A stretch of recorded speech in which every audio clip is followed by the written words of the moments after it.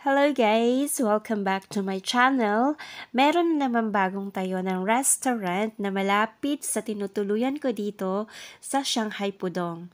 Ganito kasi dito sa China guys, pag nakakakita ako ng ganito na maraming naka-standard red flowers, for sure bagong bukas na business.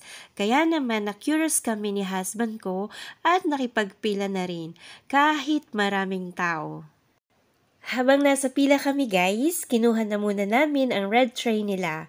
At buti na lang hindi na mahirap mag-order dahil nakalagay na kaagad sa bowl at choose mo na lang kung ano ang gusto mo. At ang unang papakita ko guys, ayan ang mga cold dishes nila. Pasensya na kayo guys kung di ko masabi kung anong mga dishes na ito, but it looks yummy. At itong sunod naman nila ay fish na boneless na ipapaluto mo at least 5 minutes lang. At para sa akin, lasong sinampalukang isda na ito ang in-order namin ni Happy.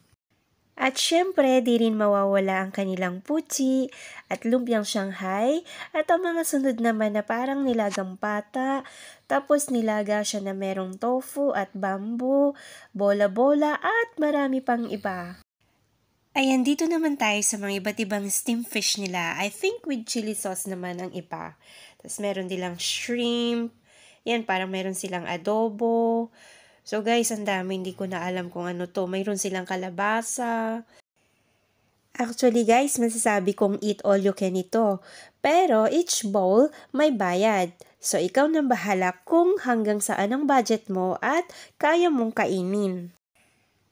At kung nag-order ka ng marami guys at hindi mo naubos, pwede naman siyang i-take out. Kaya okay lang.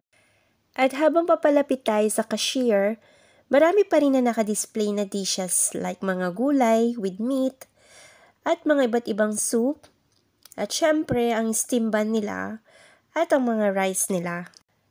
Ayan, sobrang kabisihan din ng mga staff nila dahil sobrang dami ng tao today.